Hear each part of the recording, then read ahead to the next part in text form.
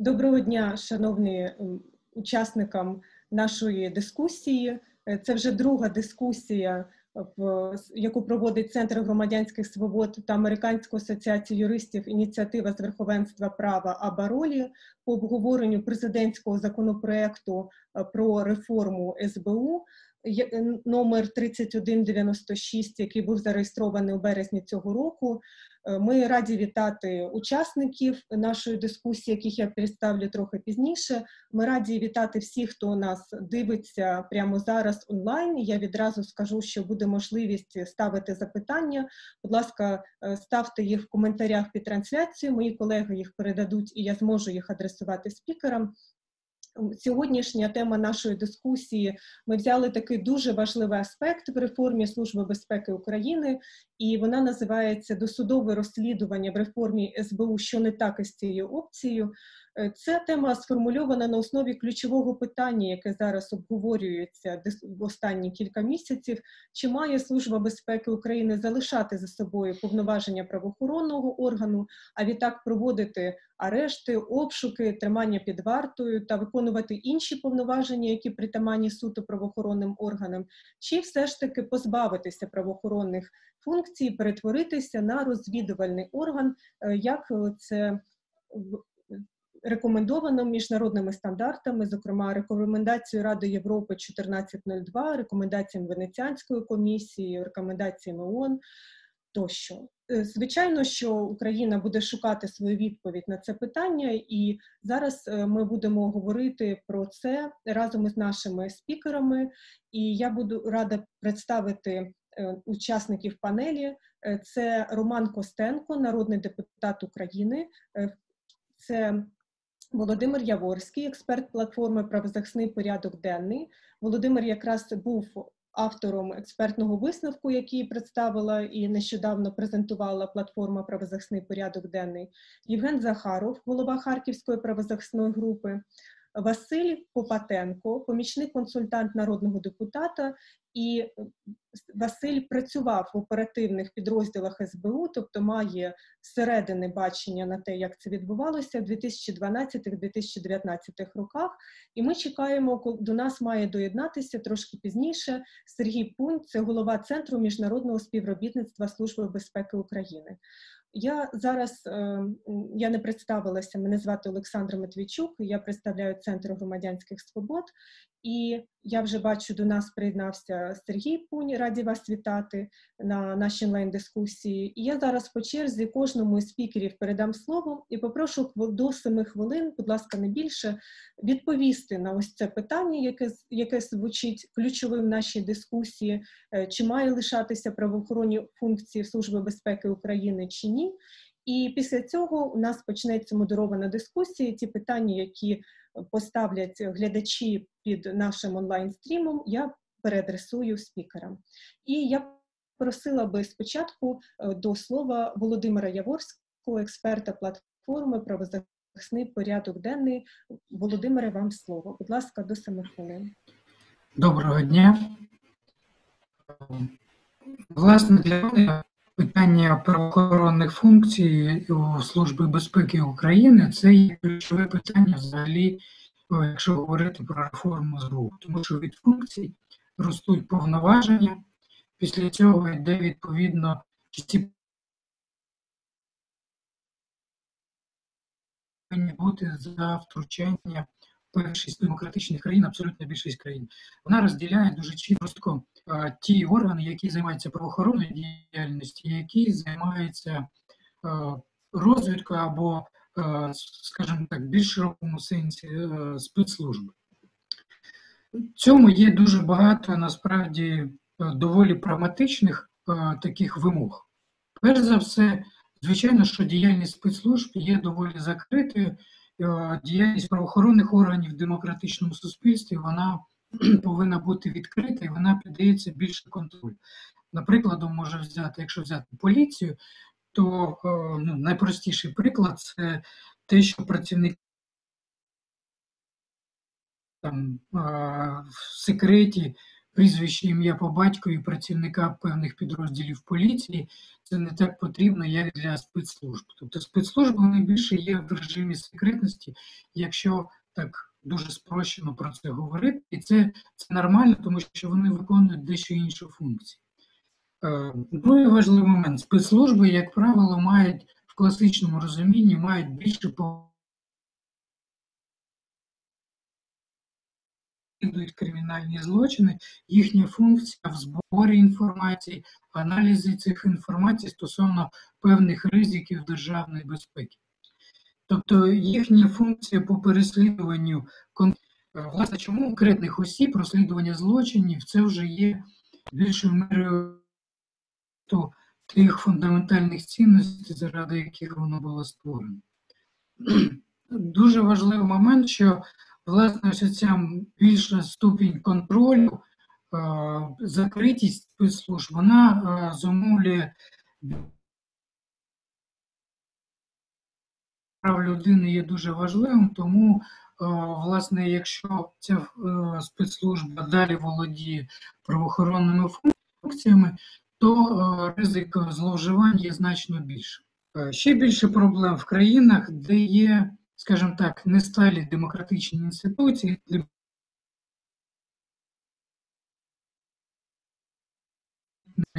не зовсім до розвитку або е, демократичних цілей. Це і для тиску на конкурентів по бізнесу, журналістів, громадських активістів чи просування стеженням за опозиції. Все це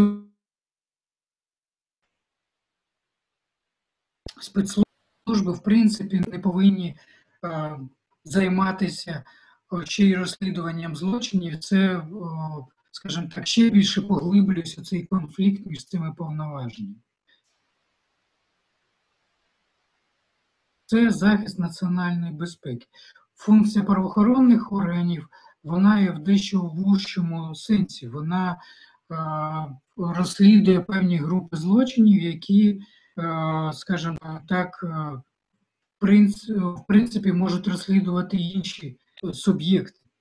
Е, якщо цих суб'єктів немає, їх можна створити. Питання не в цьому, питання лише е, в тому, що коли сконцентровані повноваження в одному органі і спецслужб, і правоохоронного органу, то проконтролювати, як використовуються ті чи інші повноваження різними департаментами цієї спецслужби, фактично неможливо це, е, скажімо так, буде побудовано для прав людини. Е, фактично, якщо ми є три сценарії, які зараз можливі, як на мене, е, якщо ми говоримо про справді про реформу Служби безпеки України, перший сценарій це ми залишаємо те, як є. Якщо ми залишаємо те все, як є, з тим широким спектром правоохоронних функцій, ми залишаємо той весь комплекс проблем прав людини, які зберігались до сьогодні, і в принципі. Е, ну, я не знаю демократичної країни, де б спецслужби мали такий широкий спектр правоохоронних функцій, які є на сьогоднішній день у Служби безпеки України. Другий можливий варіант це е, повністю позбавити функції правоохоронних функцій, тоді виникає певна така проблема, перш за все, злочинами, які стосуються злочинів проти держави, тобто злочинів, які стосуються шпигунства, е, різних там. Е, е, різних таких важливих злочинів, які стосуються національної безпеки. Хто буде розслідувати ці злочини? Як на мене, на сьогоднішній день в повній мірі жодна структура наявна, вона не готова для розслідування цих злочинів. Це означає, що потрібно або екстрено створювати подібну правоохоронну структуру на зразок таких, які існують в багатьох інших країнах, наприклад.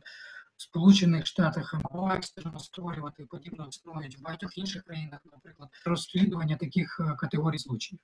Друге, або створювати в межах е, ДБР, е, Національної поліції, відповідні підрозділи, які повинні будуть розслідувати ці злочини. Е, інший, третій вихід це такий більш більш компромісний, це коли функція, правоохоронна функція СБУ, вона е, вона почала створювати, скажімо так, зменшується до виключно декількох злочинів, які стосуються захисту територіальної цілісності, знову ж боротьбу з зі шпигунством, з злочинів будуть розслідувати. Інший третій вихід це такий більш вона, скажімо так, зменшується до виключно декількох злочинів, які стосуються захисту територіальної цілісності, знову ж боротьбу з зі шпигом, скажімо так, злочини, які йдуть проти національної безпеки. Зберегти іронні функції, відповідно, не повинні мати повноважень правоохоронного органу. Це повноваження, які стосуються розслідувань, отримання санкцій на зняття інформації з каналів зв'язку з охоронного органу. Це повноваження, які стосуються розслідувань отримання санкцій на зняття е, здійснення е, різноманітних е, дій, передбачених кримінальним процесуальним кодексом, розслідування злочинів. На жаль, в українській практиці відбувається відбувається так, що що правоохоронні органи часто правоохоронні підрозділи часто використовують інформацію, яка збирає спецслужбу, е, які збирає спецслужби, використовуючи заходи поза кримінальним кодексом. З іншої сторони, 90% роботи СБУ збирає спецслужби, використовує, яка сьогодні відбувається, вона не відбувається з метою розслідування злочинів. Вона збирається, вона відбувається з метою е, збору інформації. І е, це проблема якраз е, та, що для збору інформації використовує заходи кримінального процесуального кодексу. Володя, що я в демократичній країні не може відбуватися. Я пропоную Тому про це надзвичайно поговорити. важливо розділити повноваження, відповідно розділити контроль. Володя, перепрошую, час е, підходить до кінця, тому я просила би е, підсумовувати. Ми обов'язково поговоримо про питання, які ти підняв в дискусії. Будь ласка, е, тобі слово для закінчення. Ну, власне, я закінчив. Я повторю, ще раз повторю ключову свою фразу, що потрібно чітко розділяти функцію правоохоронну і іншу функцію спецслужби по збору інформації, аналізу і е, протидії загрозам національної безпеці, відповідно розділяти суб'єктів, які здійснюють ці повноваження. І відповідно надавати їм ці повноваження і е, відповідно повинен бути різний рівня контроль за правоохоронними повноваженнями, оскільки правоохоронні повноваження саме вони втручаються в права людини. Функції спецслужб по збору інформації в меншому мірі втручаються в права людини і є менш небезпечними для прав людини. Тому, відповідно, контроль в основному повинен бути саме за правоохоронними функціями.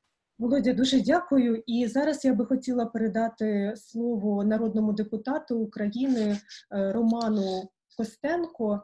Е, пане Романе, ви маєте досвід роботи в Службі безпеки України, але не в не, не були дотичні до досудового слідства. От ваша думка стосовно законодавця щодо питання розділення правоохоронних функцій, чи чи все ж таки використати цей компромісний сценарій, про який говорив наш експерт Володимир Яворський. Будь ласка, е, слідкуйте за часом до семи хвилин, інакше я буду змушена вас перервати. Доброго дня. Е, ну я не мабуть не займу навіть е, семи хвилин, тому що в принципі е, Володимир так дещо коснувся цієї теми, і дещо наші там погляди можуть збігатися.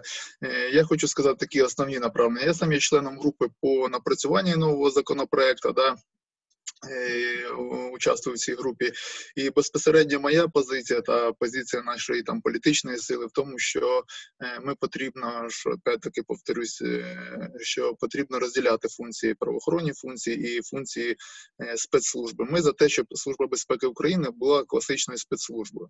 Я рахую, що служба безпеки України її основ, основна функція це забезпечувати інформацію вище керівництво держави да, для того, щоб на цьому рівні могли е, прийматися, ну починаючи від політичних, там військово-політичних рішень.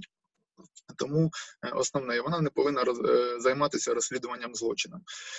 Е, що стосується безпосередньо злочинів, е, які е, стосуються національної безпеки, я вважаю, що тут, якщо ми вже кажемо про реформу, і зараз там Володимир казав, що ми не маємо зараз кому передати. Я думаю, що тут є декілька виходів, декілька рішень цієї ситуації, починаючи від того, що слідство СБУ у нас залишиться. Ми ж зараз кажемо не при персоналі, а про інституцію. Да, Ми можемо там в ДБР зробити окремий відділ з тих же слідчих, які у нас зараз е, працюють служби безпеки, наприклад, які е, мають досвід е, по розкриванню цих справ. Але я скажу, що у нас не дуже багато цих справ, і сказати, що ми там маємо колосальний досвід. В їх розслідуванні ну тут потрібно запитати статистику в служби безпеки України безпосередньо, але я вважаю, що наявність слідства в службі безпеки це по перше можливість корупції. Да? По-друге, це неефективність. По-третє, це е, е, воно породжує цю показникову систему, коли ми займаємося контррозвідувальною діяльністю. А показник, як ми вже бачимо, і служби безпеки, як вони звітують, це безпосередня наявність кримінальних справ. І от іноді часто е, спілкуючись з оперативними співробітниками, там з начальниками відділів, що коли вони мають там навіть ну так простими словами виявляють якогось шпигуна, то замість того, щоб проводити якісь оперативні заходи і контррозвідувальні заходи, і починати з ним е, далі працювати, як це е, робить класична спецслужба на роки, розтягувати ці Цю гру е, часто від керівництва поступає задача, що нам потрібна паличка, нам потрібно швидко відкрити оперативну розшукову справу, на основанні цього відкрити е, е, кримінальну справу, да, кримінальне провадження, і показати, що от у нас є. А потім вже дійде воно до суду, не дійде, це вже не показник. Показник просто відкриття кримінальної справи. Тому що, можливо, там десь в подальшому ми зможемо до цього повернутися. Але зараз, якщо ми говоримо про конкретне реформування, то я вважаю, що безпосередньо ми повинні говорити про те, що слідство повинно піти від служби безпеки України. Що у нас зараз виходить? Да? У нас е, голова служби безпеки він не призначається Верховною Радою, але подається ну безпосередньо президентом. І це є функція, це є ну право президента України. Безпосередньо він звітує перед е, президентом, теж напряму е, працює. І що у нас має служба безпеки? Такий замкнутий цикл свій, да, про те, що в принципі теж коснувся цього володя, що вони мають право вести контррозвідувальну діяльність, е, потім вони мають оперативно розшукову заводити кримінальні справи. Вони мають е, можуть е, як е, орган, який має там відділ, не відділ, а департамент по утаємничуваності, ну захист таємниці державної, да це все таємничити, і в них навіть є своє місце де тримання під вартою. Тому е, за відсутності контролю це окрема тема, що в нас взагалі немає контролю за спецслужбами, і зараз ми це будемо питання вирішувати в новому законі, тому що ну ті запити, ті звіти вони взагалі не дають можливості контролювати службу безпеки навіть в тій політиці, яку вона веде по відношенню там до країни, куди ми йдемо. Ми цього не можемо навіть парламентарі іноді знати на ті запити, які ми надсилаємо. Іноді приходять такі відповіді, що там ну просто просто відписки, так сказати, тому немає належного контролю. Е, і от цей замкнутий цикл потрібно розривати для того, щоб я знаю, що безліч справ могли б не відкриватися, тоді як, наприклад, би слідство було в нас ДБР, слідчі ДБР, якби були окремим незалежним органом, да, от по відношенню до служби безпеки, вони мають навіть деякі справи б не відкривали тільки тому, що там е, іноді політичні підходи і немає складу злочину, але учитує те, що ми ще військовослужбовці служби безпеки, то іноді деякі справи відкриваються по команді. Е, самі слідчі втратили також свою незалежність. От в службі безпеки я розмовляв із слідчими, розмовляв е, з оперативним. Дай сам, коли працював, я безпосередньо ж слідством не займався, але за 12 років я із слідчими працював із оперативниками. Дуже маю е, багато людей е, знайомих, е, які кажуть просто про те, що слідчий він як втратив свою незалежність. Він зараз по факту виконує завдання або прокурора, або там ДБР, і насамперед сам не веде, ну немає незалежності в розслідуванні справ. По Ну, е, то, що я казав, що спецслужба е, повинна працювати насамперед на упередження, а наявність слідства вона нам дає, е, ну опять же показує цю галочну систему, яку ми повинні, виходить, вона працює на неї. Так, що я хотів ще сказати.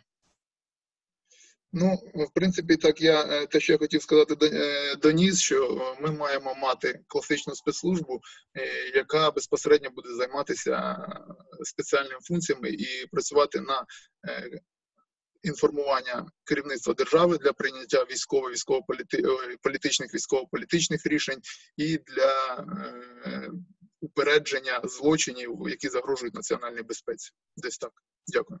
Дуже дякую, пане Романе. Я хотіла передати слово Василю Попатенко. Е, Василь кілька років працював якраз в оперативних підрозділах Служби безпеки України, тому цікавить ваша думка. От зараз, е, після того як ви змінили місце роботи, як ви дивитеся на ключове питання нашої дискусії розділення правоохоронних функцій і і розвідувальних функцій. І я окремо попрошу вас торкнутися. От ви зсередини як ви бачите, чи є можливість е, якісь гарантії захисту прав людини е, при досудовому слідстві веденні оперативно-розшукової діяльності Служби безпеки, от суворо дотримуватися у відсутності контролю, про який вже говорив пан Роман? Будь ласка, пане Василю, вам слово до семи хвилин. Будь ласка, доброго дня присутні всім. Дякую вам. Е, хотів би сказати кілька слів вже доповнити попередніх доповідачів. Ну, по-перше, пан Володимир і пан Роман Костенко е, вже досить широко висвітлили основні основну проблематику наявності досудового слідства в Службі безпеки України. Е, я можливо хотів би просто кілька слів вже сказати з точки зору е, як колишнього працівника, і з точки зору власне ефективності самої системи. По-перше, хотів сказати, що важливим таким питанням є ефективність використання наявних ресурсів, так як е, Служба безпеки України, як і будь-який державний орган, має обмежені ці ресурси, це як фінансові, кадрові, там е, технічні та інші ресурси. І наявна ситуація призводить до того, що чинне слідство, яке у нас є в службі, як сам як самі підрозділи слідчі, так і оперативні підрозділи, які залучаються до розслідування кримінальних проваджень, Е, дуже часто спрямовані на е, розслідування тих злочинів, які є не підслідними Служби безпеки України. Е, ну, я не знаю, чи можна це коректно застосувати, можливо, є навіть малозначними з точки зору національної безпеки. Зрозуміло, що кожен злочин є важливим для суспільних відносин. Однак, все ж таки є певна градація. Компетенція служби вона для цього і створена, щоб розслідувати і запобігати найбільш суспільно значимим таким загрозам. Однак, як ми бачимо, якщо навіть взяти відкрити будь-який ну, відкрити офіційний сайт безпеки України, подивитися там за останні там кілька місяців, е, які новини будуть резонансними. Там побачити, що більше половини це буде якісь е, обшуки, якісь проведені слідчих дій, які е, проводяться за кримінальним провадженнями, які взагалі не є навіть підслідними Служби безпеки України. Це якісь там корупційні злочини, економічні злочини там та інші. Е, це все призводить до того, що окрім тих ресурсів, які задіяні вже безпосередньо до реалізації злочинів, варто розуміти, що це як айсберг, це там не знаю, можливо лише 10%, а 90% це е, ті значні ресурси, які е, використовуються для пошуку інформації. Про такі правопорушення до розробки там відповідних е, справ, е, тобто це колосальні людські ресурси, це відволікання від основних напрямків, від пошуку інформації з ну, по там проти е, по державній зраді, по шпигунству, по загрозам територіальної цілісних тощо. Е, це дуже важливо навіть з точки зору управлінської е, розуміти, що той невеликий набір, то та навіть там стрічка в бюджеті, вона використовується на сьогодні неефективно. І це для держави має бути важливою ознакою, тому що у нас є ряд правоохоронних органів, які е, ну, за своєю компетенцією мають протидіяти тим речам, які на сьогодні частково дублює Служба безпеки України. Також те, що на чому наголосив Роман Костенко, хочу теж е, повторитися, що важливо, щоб е, спецслужба, ну щоб служба безпеки України все ж таки працювала на випередження, упередження. Це те, що задекларовано в законі, однак те, що ну, на сьогодні в принципі не дуже виконується, тому що е, орієнтація на досудове слідство, на правоохоронну функцію, вона призводить до того, що все ж таки пріоритетом є пошук і розслідування кримінальних проваджень, а не попередження їх. Е, це виливає ну, це, це зокрема пов'язано з цією так званою показниковою системою, е, яка передбачає, скільки Служба безпеки України має там розслідувати кримінальних справ, скільки має бути повідомлень про підозру, скільки має бути вироків, тощо, тощо. Це це суто атавізм радянський, який, я сподіваюся, має війти вже в минуле давно. Хоча е, слід зауважити, що якраз от показникова система це е, та річ, яку для якої в принципі навіть реформи законодавства не потрібно. Це те, що Служба безпеки України могла би власними там нормативними актами змінити, там виставивши певні пріоритети, змінивши оцінку управлінської діяльності, власне. Тому підсумовуючи коротко. Хотів сказати, що я погоджуюся з попередніми доповідачами. На мою думку, важливою є реформа, важливою є розділення функцій власне діяльності Служби безпеки України як спецслужби, як контррозвідного органу і правоохоронної діяльності, яка вже Е, має здійснювати розслідування тих злочинів, які ну, вже на жаль сталися.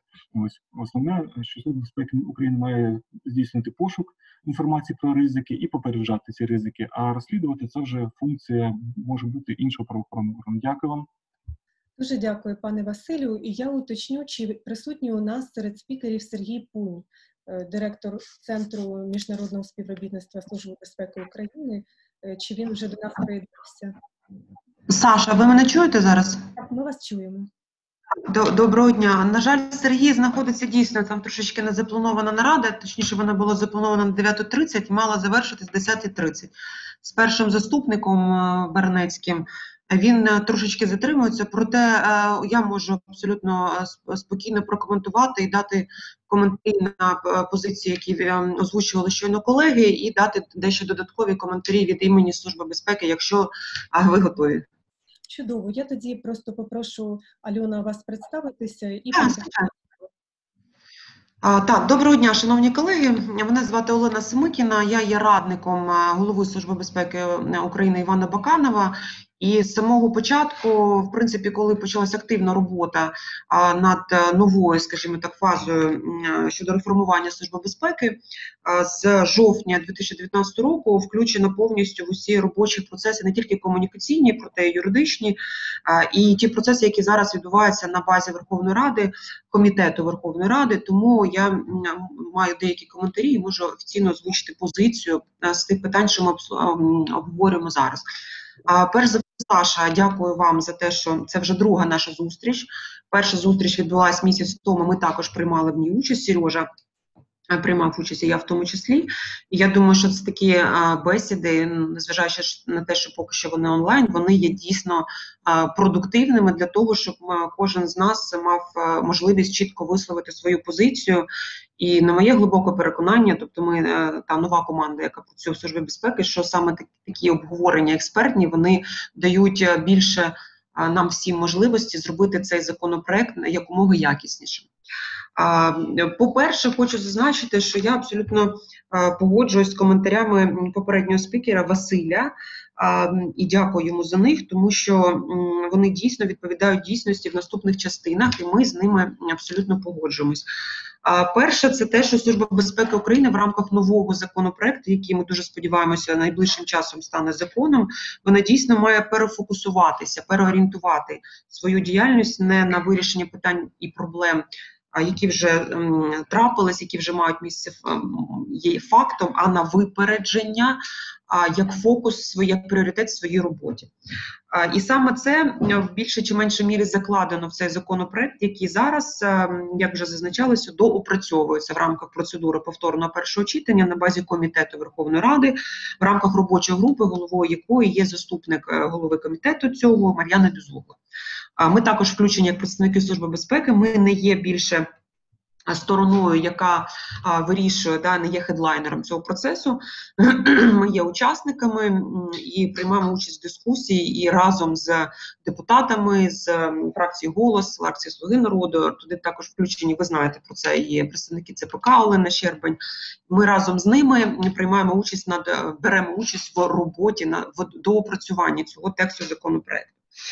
Ключові моменти щодо дискусії, теми дискусії, яка сьогодні винесена на нашу зустріч. Да? Як абсолютно вірно зазначили колеги, що сьогодні відбувається, що Служба безпеки України залучена до до процесу відбувається наступним чином щодо роботи безпосередньо слідчого управління. Що на сьогоднішній день інші правоохоронні органи залучають СБУ до своїх розслідувань. А ми фактично і, і де юра, і де факто не маємо права згідно з поточною законодавчою базою відмовити у тому, щоб вести це досудове розслідування. І саме це на наше переконання стало в тому числі, безумовно, це не єдина причина, але в тому числі стало причиною народження міфу, що СБУ кошмарить бізнес, да, там міряє асфальтне покриття, коли відбувається якесь там правопорушення щодо там корупційних зловживань на закупі на тендерних процедурах у Крафтодорі, чи е, хапає за руку, вибачайте, якогось там хабарника на півтори тисячі гривень в регіоні, і це дійсно виглядає ну з одного боку смішно, з другого боку дуже сумно, тому що спецслужба не має займатися такого роду функціями. Це очевидні очевидні речі. Да? А наприклад, колеги говорили про говорили про цю проблематику взагалі. А я а ми, ми готувалися до цієї зустрічі, в принципі, і раніше до таких роду зустріч. У нас є статистика, і це дуже цікаво. А я думаю, що всім вам буде почути. Наприклад, тільки за 2019 рік я просто маю цю статистику, тому я підглядаю. До СБУ надійшло близько 7 тисяч. Ми спеціально порахували разом з нашими колегами. З головної інспекції 7 тисяч доручень слідчих прокурорів від інших правоохоронців. Із 64%, це майже 70, ну якщо бути точними, 64, з них не належить до компетенції служби. Тобто ми виконуємо доручення інших правоохоронних органів, системи правоохоронних органів в рамках того чи іншого досудового розслідування. Да? На наше переконання, що новий закон про СБО має відсікати такі залучення. І наскільки я розумію, просто цей законопроект вже кожного тижня, коли збирається робоча група, кожного тижня чи кожного два тижні, вже в ньому відбувається по результатах кожної зустрічі деякі зміни. Проте на сьогоднішній момент, як наскільки мені відомо, що такі запобіжники включені включені в текст законопроекту для того, щоб служба безпеки не мала мала права відмовити, тобто не виконувала доручення інших правоохоронних органів в рамках е, того чи іншого процесу. Да? Тобто, наше таке переконання і насправді бажання навіть для тих, хто може в це не вірити. що служба ми не маємо відволікатися від своїх пріоритетних завдань, і не маємо виконувати доручення інших правоохоронних органів е, в рамках виконання невластивих нам функцій. Да? Це таке важливе питання. Я дуже дякую Василю Роману, тому що вони його підняли і вони це розуміють, да, що це так відбувається. А я б хотіла те, що сфокусуватися на статистиці, тому що вона лише підтверджує цей факт. Другий момент щодо контролю, да, щодо який Романи, Роман ем, наголошував на цьому абсолютно вірно. Да. З одного боку, ми маємо розуміти, що специфіка спецслужби ну, ми не можемо бути як вам сказати, ну на 100% відкритими говорити, наприклад, там от у нас е, нещодавно запитували е, журналісти після подій в Луцьку, який бюджет антитерористичного центру да, фінансування. Да? Ну мені здається, якщо ця інформація буде публічною, то це не є а, адекватною реакцією спецслужби щодо того, щоб озвучувати ті чи інші питання, наприклад, да, щодо діяльності там е, бійці спецпідрозділів Альфа, чи щодо специфіки антитерористичних операцій, які проводить СБУ на, на сході чи щодо бюджету щорічного, наприклад, того ж антитерористичного центру про СБУ. Тобто є питання, які в принципі в рамках захисту національної безпеки не можуть бути на 100% озвучені нами прилюдно. Проте відкритість і підзвітність, на моє глибоке переконання, це абсолютно різні речі. Це не означає, що ми маємо бути на 100% відкритими, проте це означає, що підзвітними ми служба безпеки має бути однозначно.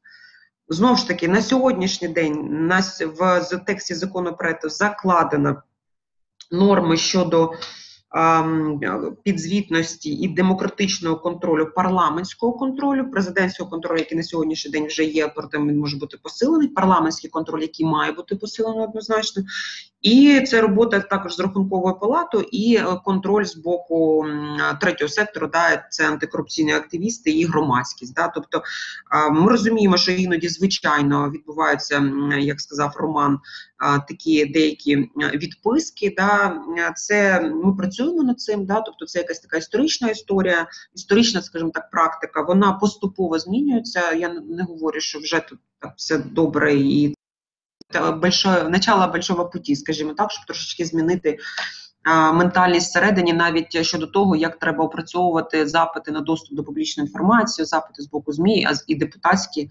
запити, звичайно. Тобто, це третє питання щодо контролів, які мають бути посилені в рамках тексту законопроекту, який зараз напрацьовується. Проте я хочу ще раз наголосити. Я так розумію, що в мене вже не так багато часу лишається.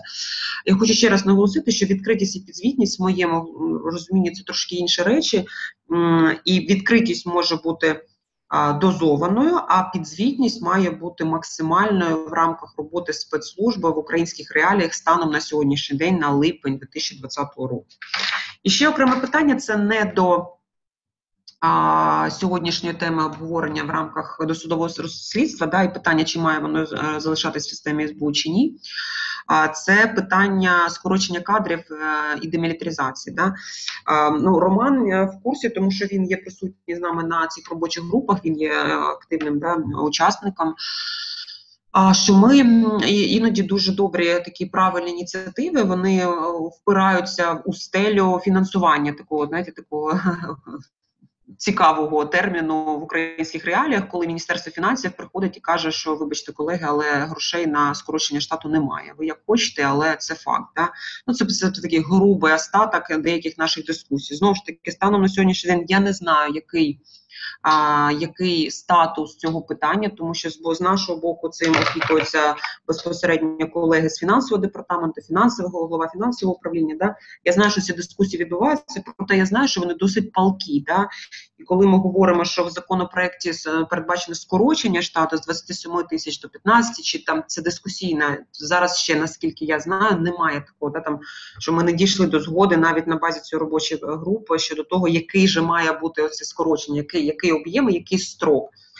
То ми чітко повинні розуміти, да, що коли в нас навіть правильні, навіть правильні, здорові і дійсно потрібні ініціативи, вони можуть бути обмежені навіть і не може це питання вирішитись ані депутатським корпусом, ані службою безпеки України. І ми маємо це також враховувати, тому що це реалії українського бюджету на 2021 рік, 2022, 2023. Але це не означає, що ми якось знаєте, чинимо якийсь супротив щодо того, що ми там не хочемо позбутися.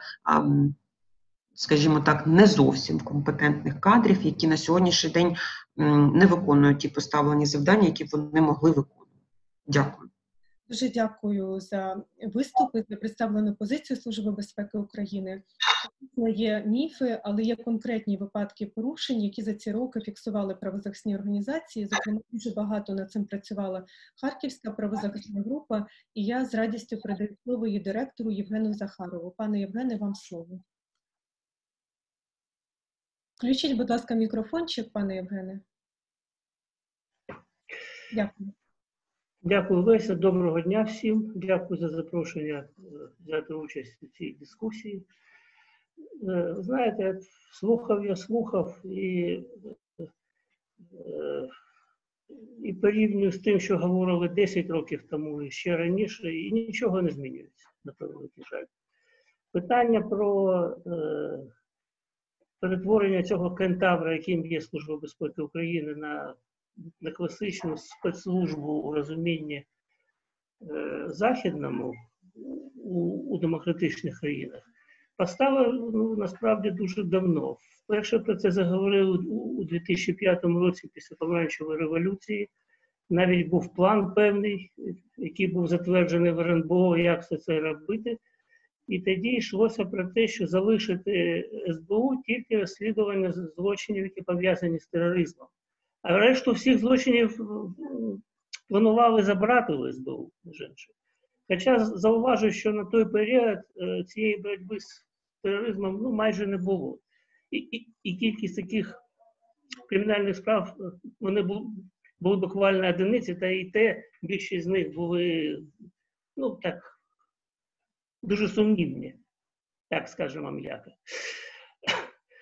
Е, але після ну, перемоги Януковича на президентських виборах все повернулося назад і знову спецслужбу е, стали використовувати в політичних цілях дуже активно. І е, на превеликий жаль, це продовжилося і після помаранчева, і після Революції Гідності великою мірою. Ну тут вже була інша ситуація. У нас був військовий конфлікт, і е, стверджувалося, що саме Служба безпеки України абсолютно необхідна для розслідування тих злочинів, які вона веде. Проте, якщо порівняти кількість проваджень, які були зареєстровані в ЄРДР за злочини, які є в підслідності СБУ, з кількістю справ, які дійшли до суду, то це твердження воно е, є дуже сумнівним. Ну, у мене нема часу, щоб на цю тему говорити докладніше, але ну, загалом я хочу сказати, що до суду е, потрапляло на два порядки менше справ, ніж їх порушували, попросту кажучи. В середньому так. Деякі е, е, на порядок менше, деякі на два порядки. Е, крім того, е, саме в цей період е, з'явилися такі такі феномени, яких раніше у діяльності СБУ не було, бо завжди служба підкреслювала, що вона діє виключно законним шляхом. А тут ми бачили масові катування, ми бачили і секретні, те, що назвали на Заході секретні тюрми. І Хай би як СБУ це не спростовувала, на превеликий жаль, це залишається фактом, оскільки за законом е, СБУ, за жодним законом, Служба безпеки не має е, таких установ, де вона може е, утримувати під вартою затриманих. Просто немає. Ті е, дві, е, е, два сектори забезпечення слідства, які є в Києві і в Харкові, вони також. Е, внормовані не законом, а а внутрішніми інструкціями. І е, ми знаємо все це добре, що було багато фактів, коли люди, які е, були підозрюваними за за кримінальними провадженнями в СБУ, вони знаходилися в слідчих ізоляторах в окремих камерах, в управліннях СБУ в камерах іноді навіть на, на, на окремих квартирах там і так далі, і так далі, і так далі. Тобто була ситуація, коли СБУ не бажала віддавати своїх підслідних слідчі ізолятори, взагалі кажучи, справедливо е, боячись е, за їхню долю. З другого боку, за законом вона не мала таких прав. Ще у 2003 році е, слідчі ізолятори, які були в складі СБУ, були е, були заборонені ліквідовані. І це, власне, і пов'язано з тим, що Служба безпеки України не має вести правоохоронну діяльність, а має вести тільки діяльність е, по збору інформації, контррозвідувальну насамперед. Е, в результаті маємо ситуацію, коли на сьогодні саме в цій сфері Служба безпеки України є найбільшим порушником прав людини в нашій країні, особливо це стосується зони конфлікту. І е, навіть у е, у річних звітах е, омбудсмана е, стверджувалося, що 50% скарг на такі речі саме на СБУ. Хоча у кількісна СБУ, е, кількість справ, які розслідували СБУ, скажімо, поліція, їх не можна вимірювати. Це абсолютно різні речі. Всі ці е, міркування, а також те, що ну, не можна в країні, яка е, поставила за мету приєднатися до, до Європейського Союзу і до, до НАТО, залишати такого кентавра, все це і примусило фактично е, експертне середовище і е, міжнародне, і українське дійти консенсусу. Е, нещодавно, що е, цей кентавр має бути цього кентавра треба позбутися, і правоохоронну діяльність у служби треба забрати. І навіть голова СБУ Грицак з цим погодився, наскільки мені відомо. Єдина людина, хто з цим не погодився, це був президент Петро Порошенко, і і, і все залишилося як є.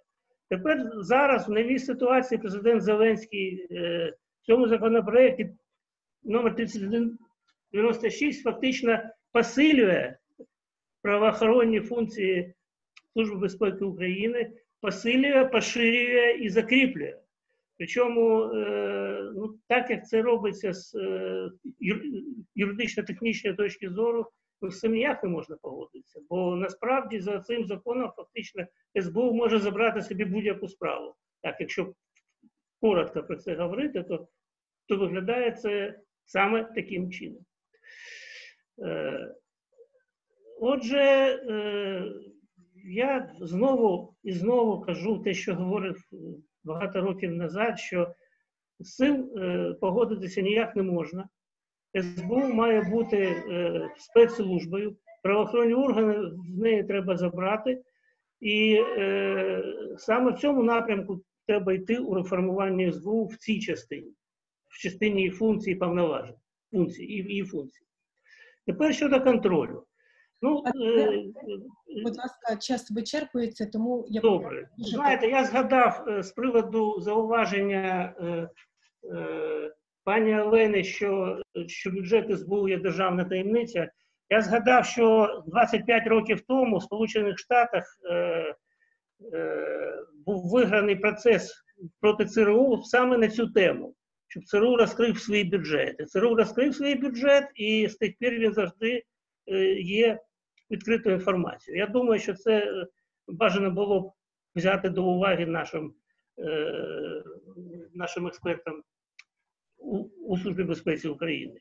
Що хочу зауважити одну річ, що е, є такий пункт е, 448 е, в зводі відомості, що становить е, державну таємницю, е, засекречує відомості статистичні показники оперативно-розшукової, контррозвідувальної чи розвідувальної діяльності. Це, е, це було зроблено за ініціативою СБУ, була введена ця інформація в ЗВДТ в серпні 2005 року, вже 15 років назад. І зроблено було це тому, що е, е, до публічної площини потрапили дані про неймовірну кількість дозволів на, на перехоплення телефонних розмов, які були в країні, які на порядок або навіть на два порядки перевищували цю кількість у, у європейських країнах. Там вона була не більше тисячі всюди буквально дозволів на такі речі. А в Україні, ну от е, в ці часи, е, е, коли це засекречувало, було е, 15, 20 і пізніше 25 тисяч. Зараз е, більше е, віддають перевагу скануванню простору е, і, і стеженню за тим, які е, сім-карти були в певній, в певній області за певний час. Я чув цифру десь пару років тому, що кількість запитів до мобільних операторів за місяць від е, органів розслідування складає 200 тисяч. Це дуже велика цифра. Все це, е, е, якщо згадати про те, що такий ОРЗ, як зняття інформації з каналів зв'язку, можливий тільки коли готується чи скоєний тяжкий чи особливо тяжкий злочин. І якщо порівняти кількість таких дозволів, які були отримані, з кількістю е, справ в суді по тяжких та особливо тяжких злочинів, то можна зробити знов таки такий загальний е, висновок, що ефективність цих оперативно-шукових заходів не більше ніж 10%. Про що це свідчить? Е, Всі, всі можуть поміркувати самі. І я взагалі вважаю, що це і було однією з тих причин, з якою ці відомості засекретили, щоб не показувати е, е, ну, вкрай низьку ефективність використовування е, цих ОРЗ і, зокрема, Служби безпеки України. І наостанок хочу сказати щодо контролю. Знов таки є такий відомий спосіб щодо контролю цих е, оперативно-шокових заходів, які порушують права людини, як відкритий е, звіт, річний відкритий звіт про е, статистичні показники цієї діяльності. Він е, містить тільки знеособлені дані, там нема персональних даних, йдеться про те, е, як багато було е, відкрито кримінальних справ, скільки з них дійшло до суду, е, як, як багато було дозволів, кількість спостережень за особами, е, кількість затримань, кількість обшуків і вимог документів та майна, які були проведені е, спецслужбою, загальна кількість подань про отримання санкцій суду та кількість подань від кожного е, правоохоронного органу, який провадить такі ОРД, зокрема СБУ, ну і так далі. Якщо ви зайдете на в Сполучених Штатах на е, сайт, скажімо, ФБР, ви побачите такий, е, такий річний звіт. І це е, те, що у нас е, засекречено фактично, там є відкритим, публічним для всіх, і будь-хто може, може побачити, е, які, е, яка кількість е, оперативно-шукових заходів, що порушують права людини, за якими саме справами е, було проведено і які їх результати. І я думаю, що такий засіб контролю є, є абсолютно необхідний, незалежно від того, заберуть правоохоронну діяльність в СБУ чи не заберуть, але е, це дуже казові речі, які надають можливість оцінювати ефективність е, роботи Служби безпеки, про яку тут е, вже згадували. Дякую за увагу. Я, я перепрошую, що забрав трошки більше часу. Дуже дякую за виступ. І ми зараз переходимо. У нас є буквально півгодини до закінчення нашої дискусії на, на власне обміну е, думками. Я прошу їх висловлювати у вигляді стислих реплік. І відразу скажу, що наших учасників, е, е, глядачів трансляції зацікавило таке питання. Я його озвучую, можливо, хтось захоче його підкопити. Спікерів я прошу писати в чаті або піднімати руки, щоб я вас бачила і могла надати слово. І питання наступне, е, воно стосується того, а в чому доцільність взагалі е, того, щоб СБУ здійснювало досудове розслідування оперативно-розшукову діяльність.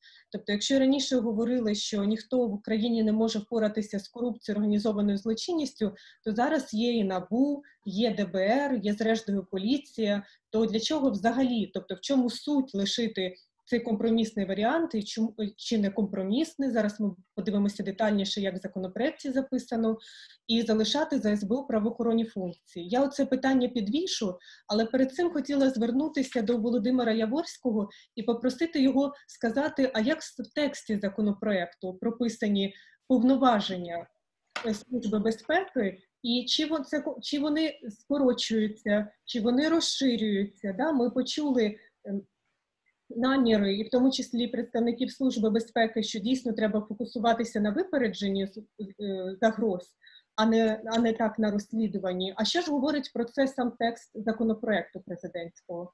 Володя, тобі слово. Дякую. По-перше, мені завжди цікаво на таких дискусіях. Ми, в принципі, тут в більшості ми одностайні. Коли, коли ми там починаємо говорити про правоохоронні функції, всі зразу кажуть справи. Володя, я попрошу тебе виключити відео. правоохоронні функції. Я попрошу тебе Але якщо ти читаєш законопроект, який зараз добре. Алло? Добре, я Так, виключу так, відео, краще можливо, чути. так буде краще. Краще. О.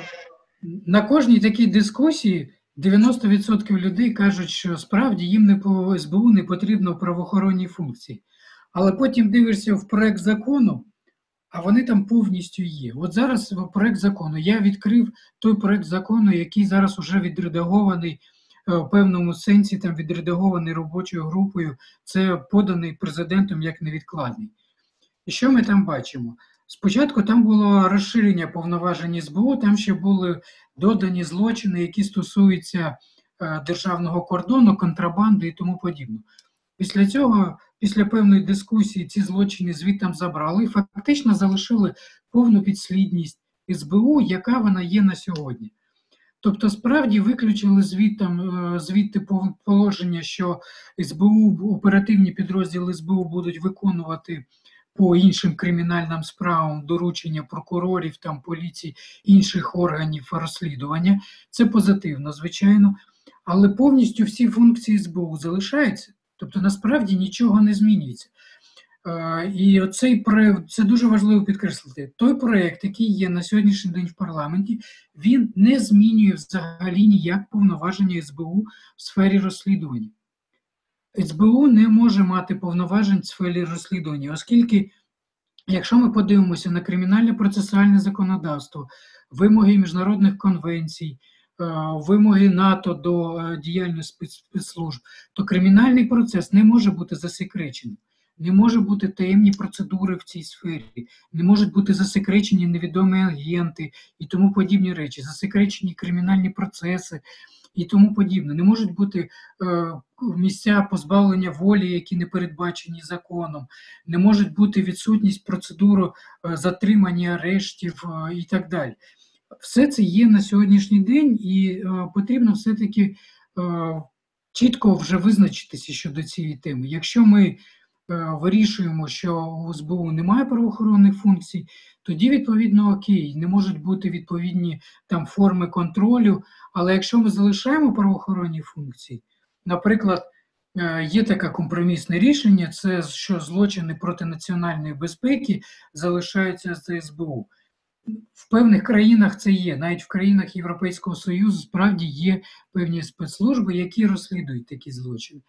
Але тоді добре, давайте тоді виписуємо так закон, що тільки ці підрозділи вони мають повноваження правоохоронних структур, і відповідно за ними повинен бути такий ж самий контроль, як за поліцією. Тобто повинно бути чітко зрозуміло, скільки чого, що вони роблять. І ми не можемо знову ж покладатись тут на довіру. Тут нема питання вірю, не вірю. Повинні бути видані чіткі цифри, і повинні бути чіткий незалежний контроль за цими повноваженнями. Власне, чому і розділяють повноваження спецслужб і е, повноваження правоохоронних органів, тому що за спецслужбами справді не може бути такого повного контролю, як за правоохоронними органами, оскільки є дуже багато таємної інформації, таємних форм отримання цієї інформації і так далі. Я очевидно тут розумію, що тут може бути більш закрита діяльність. Е, те ж саме і стосується бюджетів. Справді, не весь бюджет СБУ може бути відкритий. Це е, навіть США до сьогоднішнього дня є е, так звані закриті частини бюджету. Це очевидно, це зрозуміло. Але не може бути на правоохоронну функцію закриті види бюджету.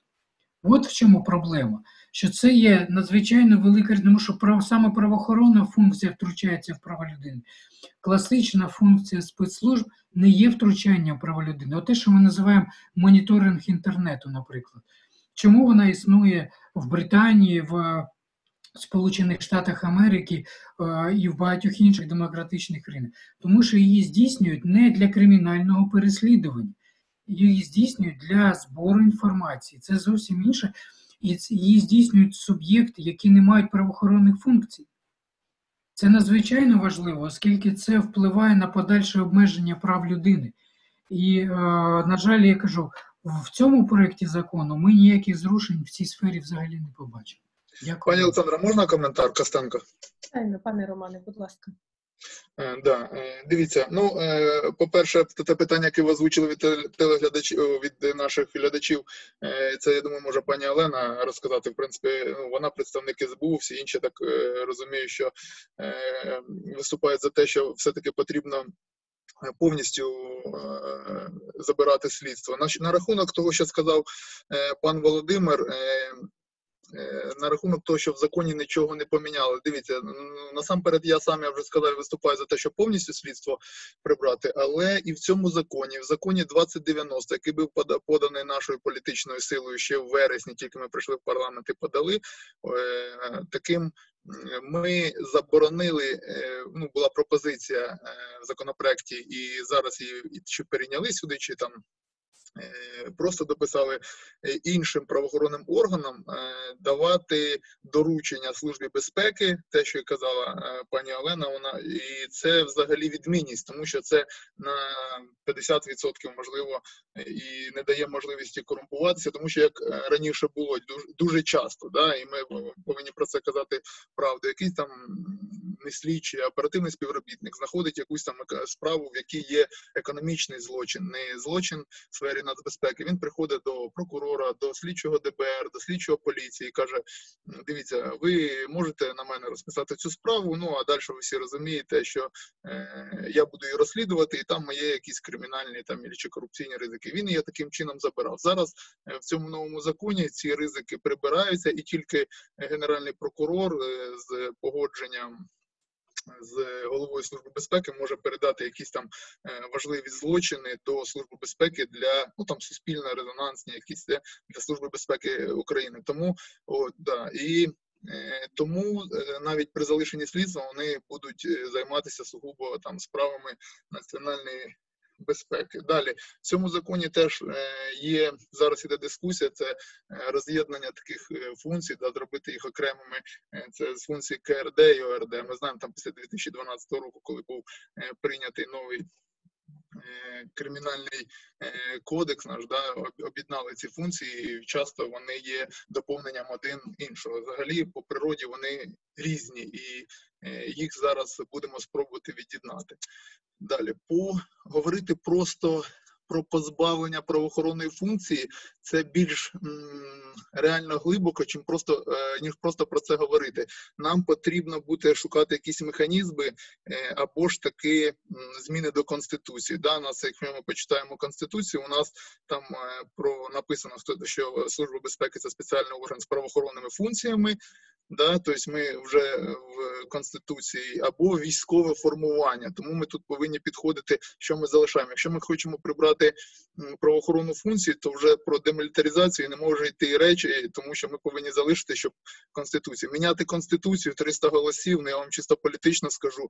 Ну буде багато опонентів. Ну тут дуже складно. Тому ми повинні виходити ще по конституції по е, до цього, щоб зробити нормальну реформу, ми повинні ну, були б чітко поміняти конституцію, і тоді тільки ми могли б вже говорити про реформу, а не просто про удосконалення.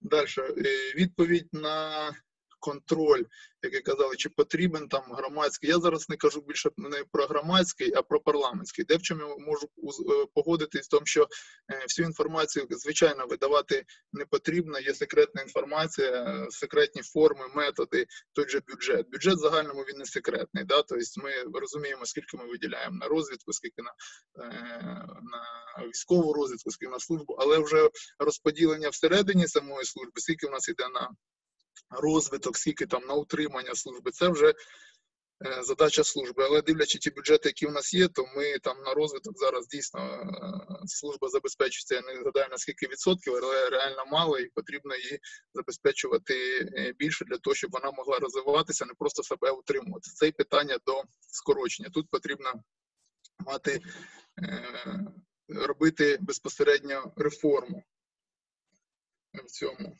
Так. Е, на рахунок е, контролю, що хотів би взяти, що наприклад, моє бачення в цьому, що да, дійсно всі не повинні знати, але ми повинні піти там подивитися практики е, інших держав, в тому числі і Сполучених Штатів, європейських країн, де є спеціальні комітети по нагляду за спецслужбами, і вони мають більш глибокий доступ до цієї інформації. Дивіться, що ми зараз маємо. Ми зараз маємо спецслужбу. Я взагалі говорю службу безпеки, розвідку, там зовнішню розвідку. Е, військову розвідку, які в принципі займаються своїми справами і звітують тільки президенту. Президент це окрема там е, гілка влади, да, яка який, в принципі, може там не звітувати там перед парламентом і все таке, і вони можуть навіть е, вести свою політику незалежно від там політики держави. Ніхто про це просто не дізнається з відсутністю повністю цього контролю. Тому, на мій погляд, зараз там з прийняттям нового закону про розвідку ми розширимо в контроль за спецслужбами, але це там більш е, в напрямку такому дотримання прав людини. Але ми будемо вже працювати в законі про службу безпеки, намагатися зробити більш ширше, коли ми зробимо все таки комітет по нагляду за спецслужбами окремий, щоб він мав доступ навіть до окремих е, питань, наприклад, як це в нормальних розвитих країнах, це заслуховувати кандидатів на різні посади.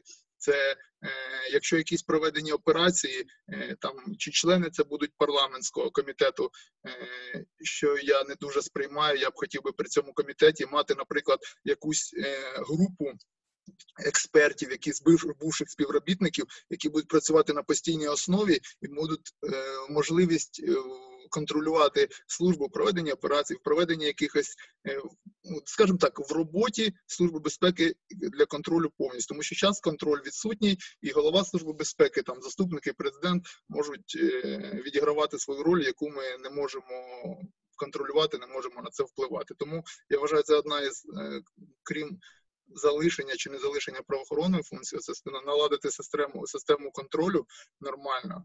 Це дуже важливо, і це може стати вообще предметом окремої дискусії от на такій от платформі. Дякую. Дуже дякую, пане Романе. Я відразу озвучу наступне питання, яке постало у наших глядачів. А як зараз виписаний в законопроекті контроль і в які форми він має? Але перед цим до нас доєднався Сергій Пунь, директор Центру міжнародного співробітництва Служби безпеки України. Пане Сергію, е, було питання, е, і я е, попросила вас відповісти. А в чому взагалі доцільність залишати за службою безпеки України правоохоронні функції? Чому їх не можуть закрити інші органи державної влади, НАБУ, ДБР, поліція? Пане Сергію, будь ласка, вам слово. Пане Олександро, доброго дня. Доброго дня всі. Колегам. Я дуже перепрошую, що не міг з самого початку долучитися до е, цієї шановної дискусії. Е, хотів би, відповідаючи на ваше питання, е, звернути увагу на таких кілька аспектів. Ну, як мінімум, три аспекти, які ми повинні враховувати, коли ми говоримо про реформу служби безпеки і позбавлення її непартаманних, чомусь вважають непартаманних функцій оскільки е, ми можемо говорити лише не не про притаманні чи не притаманні функції. Ми повинні говорити про існуючі кращі практики, які вважаються кращими з точки зору наших європейських е, партнерів, партнерів по НАТО. Пане Сергію, я перепрошую, якщо це можливо включити відео, бо у нас іде трансляції для того, щоб було зображення. Е, увімкнув, я не знаю, що чому проблема зараз. Добре, тоді продовжуйте. Не будемо так, так. Видно, не видно? Е, я не бачу вас, але давайте О, все, видно. А, ось є. Так, я з'явився. Так, доброго дня.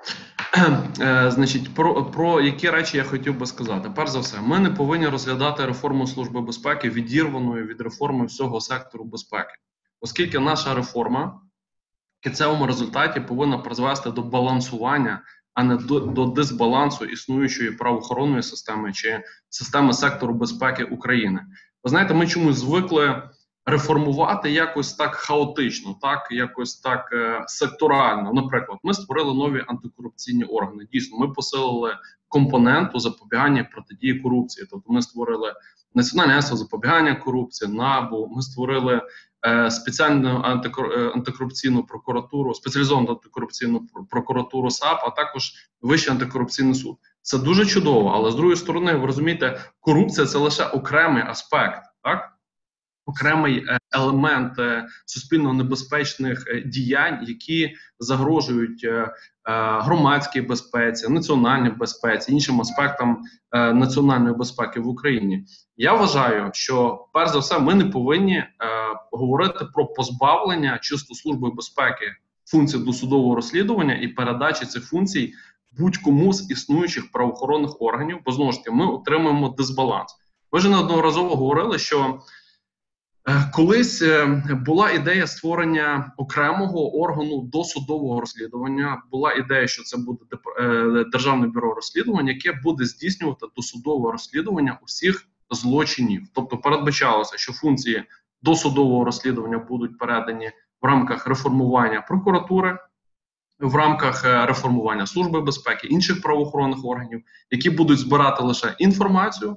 Формувати певні справи, які будуть в подальшому передаватися державним бюро розслідувань. Вже державне бюро розслідувань буде здійснювати власне досудове розслідування злочинів і подальшу передачу до суду. На жаль, цього не відбулося. У нас державне бюро розслідування Е, з'явилися свої оперативні підрозділи. Фактично буде виникати ситуація, що служба безпеки, зібравши певну інформацію для подальшого розслідування е, злочину, передає державне бюро розслідувань, яке в той же час має також свої оперативні підрозділи, які також збирають інформацію, передають своїм слідчим, і слідчі проводять розслідування.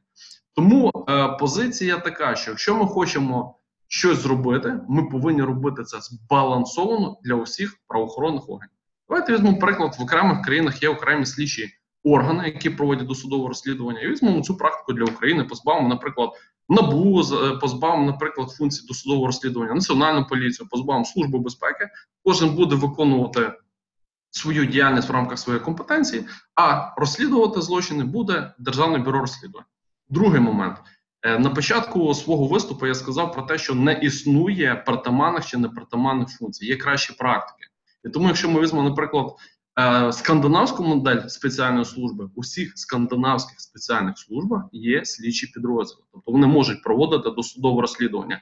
Звісно, вони не розслідують корупцію, але давайте не будемо себе обманювати. І ще раз повторю, повторюся, що ми, на жаль, живемо не у шведському, норвезькому чи е, значить, е, в суспільстві королівства Данія. Ми живемо в українському суспільстві. І для тих суспільств корупція не є загрозою. І якщо ми подивимося щорічні значить, рейтинги індексу сприйняття корупції, корупція для цих суспільств не проблема. В даному випадку, якщо виникає корупційне правопорушення, звісно, воно повинно розслідуватися поліцією. Якщо ми говоримо про Україну, у нас зовсім інший характер існуючих викликів і загроз для національної безпеки.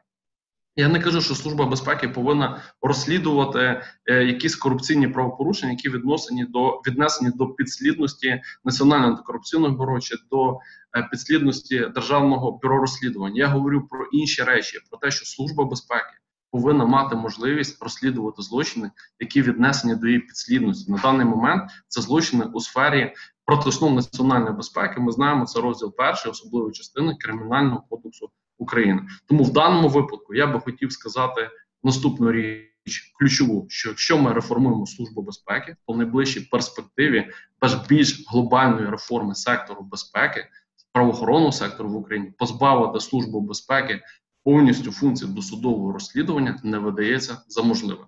Про певні речі, які тут обговорювалися, які стосувалися пропозицій щодо введення певних запобіжників, які унеможливлять зловживання певними повноваженнями, так тобто е, часте звинувачення, що служба безпеки розслідує економічні злочини, для того, щоб таких моментів не повторилося в майбутньому. Е, ми пропонували, і ми дуже вдячні комітету Верховної Ради з національної безпеки оборони розвитки, що врахували це побажання, щоб передбачити певний запобіжник. Якщо злочин якийсь не відноситься до прямої підслідності служби безпеки, але розслідування цього зло, але власне цей злочин загрожує основам державної безпеки, то голова або заступник голови може звернутися до генерального прокурора або до заступника генерального прокурора з проханням визначити підслідність за конкретним злочином, заслідченим органами служби безпеки, а також унеможливити надання доручень від слідчих інших органів. Е, значить, оперативним підрозділом служби безпеки до проведення тих чи інших слідчих дій. Ми впевнені, що такі запобіжники найближчим часом, після прийняття відповідного законодавства, зможуть змінити публічне сприйняття служби безпеки. Дуже дякую, пане Сергію. І хотів... одна репліка. Дивіться, е, пане Сергію, ви кажете, що е, ну е, це неможливо. Ну дивіться, ну все рівно ж ви розумієте, що визначати можливо чи неможливо, все ж таки буде комітет Верховної Ради. Да, я думаю, ми з вами на групі ще не раз піднімемо це питання, можливо чи неможливо, тому що ви так конкретно кажете, що оце неможливо. Я ну я ж розмовляю, ми ведемо дискусію комітетом, хто є насамперед законодавцем, так? Ми е, розуміємо, що це питання розглядається, і що це ще не кінечний варіант, а це є взагалі такий проміжний варіант між тим, е, залишити слідство чи не залишити, поки ми звернулися і залишили такий варіант. Але я думаю, всі такі основні основна робота е, буде у нас почата восени, і законопроект може змінитися. Ну не скажу, що кардинально, але деякі речі можуть змінитися. Ви самі це розумієте. Дякую вам, пане Роман. Е, да, я хотів би невеличку репліку, якщо дозволите. Е, звичайно, я не кажу, що Е, ми е, будемо вирішувати, чи буде вирішувати комітет. Правда, комітет буде рекомендувати рішення буде приймати український парламент і подальшому президент, який буде підписувати відповідний е, прийнятий Верховною Радою закон.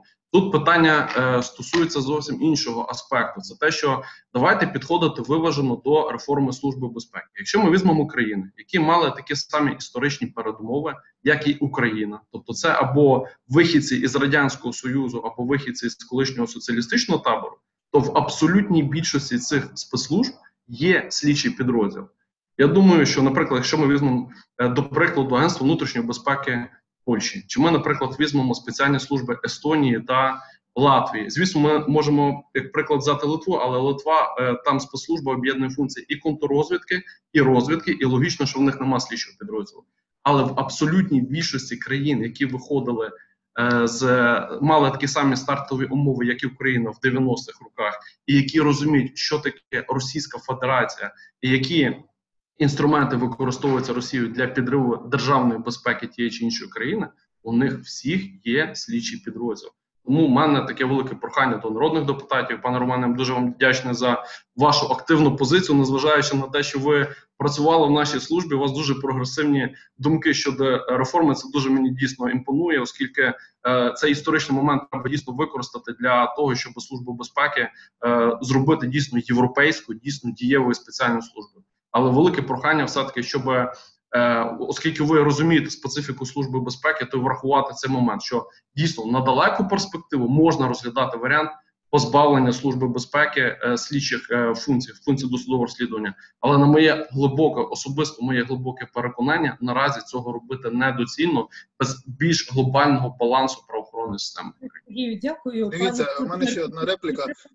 Дуже я да, дуже дуже дякую, е, пане Сергій. Дуже ну е, за це. Мені просто я е, сам працював в службі безпеки, і там питання мілітаризації, демілітаризації. Я просто сподіваюся, що в службі безпеки це дуже ну є такі люди, в яких це ну таке переконане особисте мнення, да, на російських кажу, а не тому, що, наприклад, завтра хтось поміняється і прийде людина, яка буде прогресивна і казати, нам не потрібно, і е, завтра будуть виступати люди і казати, да, дійсно, все те, що казали, це не так. Тобто ми, що, щоб це була така. Я зустрічав людей, яких це позиція от, керівництва, а не безпосередньо людей. Я сподіваюся, що це ваша особиста позиція. Дякую вам. Я хотіла би передати слово пану Володимиру. Він теж хотів долучитися до цієї дискусії. Будь ласка. Володя, дякую, тобі дякую, дякую. Декілька важливих моментів. Перш за все, е, тут наводився іноземний досвід, що в певних спецслужбах є правоохоронні підрозділи. Справді таке є. Я, власне, казав, що моделі можуть бути різними, але о, тоді потрібно договорювати до кінця, тому що правоохоронні повноваження тоді мають виключно ці підрозділи. Якщо ми говоримо зараз про проект закону, який розглядається в парламенту, то кожен працівник СБУ має всі повноваження правоохоронного підрозділу. Такого немає в жодній демократичній країні. Другий важливий момент контроль. За цим підрозділом встановлений контроль як за поліцією. Він є відкритий, так, так само, як поліція він не є закритим так само, як е, інші підрозділи спецслужби, які виконують інші завдання. Це доволі важливо, тому що вся діяльність, яка здійснюється з цими спецслужбами в частині кримінального процесу, вона є відкритою і підлягає незалежному контролю. І в цих, відповідно, в цих країнах. В кожній країні я вам можу окремо назвати ці процедури, які здійснює уповноважений справ людини або інші суб'єкти, які здійснюють незалежний контроль за цією діяльністю. Цей зараз який проєкт, який ми розглядаємо в парламенті, не передбачає жодну процедуру незалежного контролю взагалі за повноваженнями СБУ. Крім надання санкцій по окремим е, по кримінально-процесуальним діям з боку суду. Тому, е, в принципі, зараз ми не можемо говорити про те, що цей закон він взагалі його називати як взагалі реформу. Як на мене, цей закон можна називати певною оптимізацією СБУ, але він не є реформою. І от е, це дуже важливо підкреслюю, коли кажуть, що немає вимоги до СБУ, що вона не повинна мати право.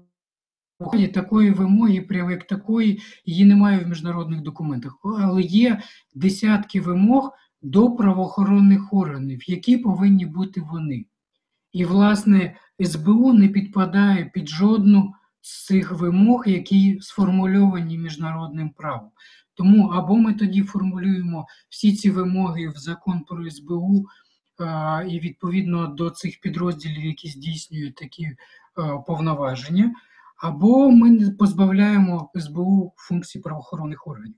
Це доволі коротко зараз можна відповісти. Тобто потрібно чітко відрізняти які функції, хто здійснює які повноваження тоді в Службі безпеки, відповідно, який контроль, хто здійснює за цими повноваженнями. Тому що за спецслужбами і за правоохоронними органами в демократичній країні здійснюються рівні, різні процедури контролю.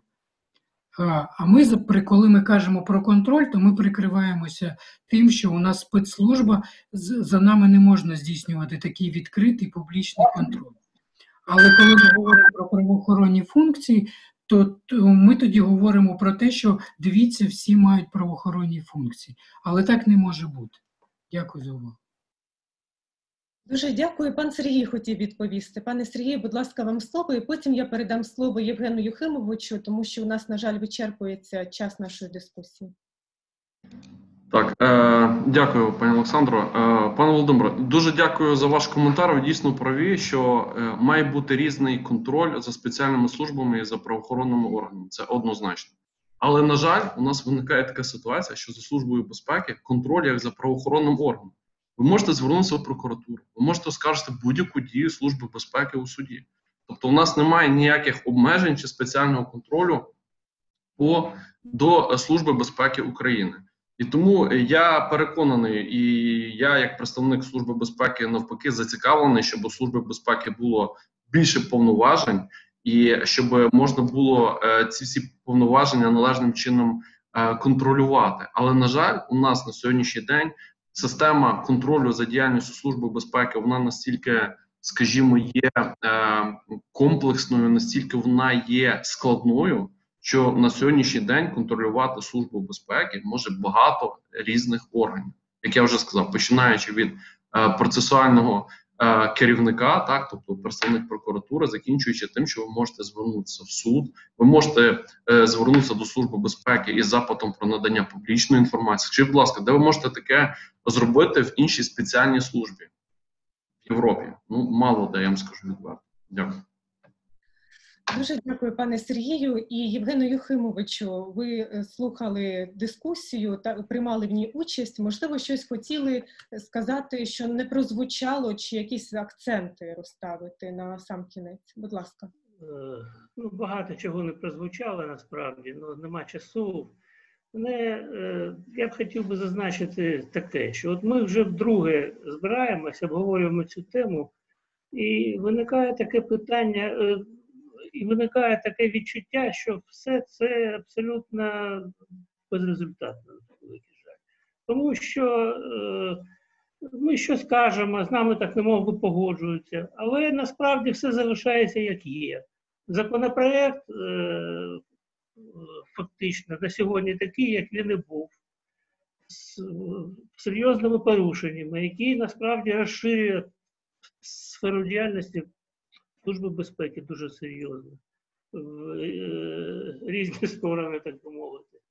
І те, що ми кажемо, фактично ігнорується повністю. Ну, от Це те, що я бачу. Це було е, у мене було таке відчуття і під час першої зустрічі, і зараз. От щойно пан Пунь сказав, що у нас дуже є багато можливостей. І до суду звернутися, і запит подати, і до, до прокуратури звернутися. Але ж всі, хто працює в практичній площині, знає, що е, це все е, здійснити реально не можна. Не можна це реально здійснити.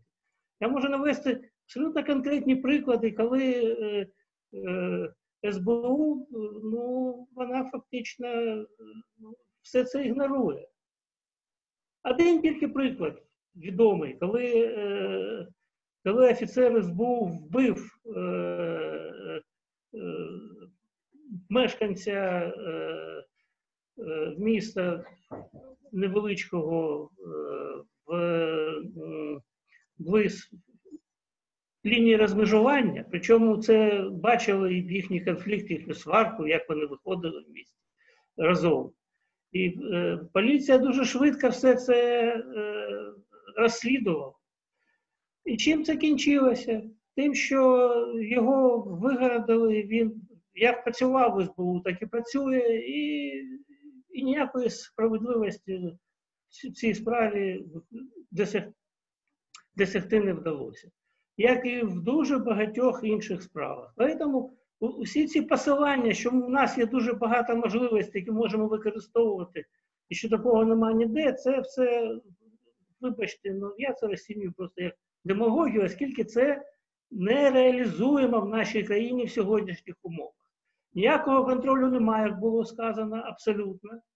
І абсолютно правильно було сказано. Ну, хоча б е, е, поновили норми про контроль, які були до 2010 року, коли, коли Служба безпеки України мала щорічно звітувати перед е, парламентським комітетом із, із захисту національної безпеки і оборони.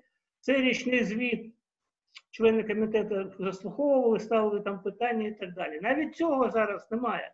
Парламент не має жодних можливостей для того, щоб е, взагалі знати про те, що відбувається. Бо ну, вони можуть подати запит, вони отримують відповідь, але ж немає ніякої гарантії, що в цій відповіді буде все те, що вважав парламентарій, і такі випадки у нас також були. Ті, хто е, депутатів парламенту цим займається, е, це можуть підтвердити. Тому я вважаю, що ну, таке е, ставлення до цього питання, яке я, я бачу на сьогодні, ну, воно є абсолютно неприйнятним, на мій погляд, як є багато що неприйнятним в, е, у політиці чинні, чинної адміністрації, президента, у, тому, що він робить, і, і, і в тому, що він просуває, так би мовити. І е, я думаю, що треба е, ну, е, опрацьовувати позицію щодо цього нам в галузі прав людини, політикам в галузі політичної діяльності там і так далі. Треба опрацювати ці питання, заявляти позицію, де є порушення, де є загрози порушенням, і з цією позицією, так мовити, е, виходити до суспільства і говорити про це. Бо ви подивіться, закон про СБУ такий, закон про медіа. Е, Нещодавно президент вніс закон про те, щоб позбутися застави фактично. Це залишається на розсуд суду у цьому законопроєкті.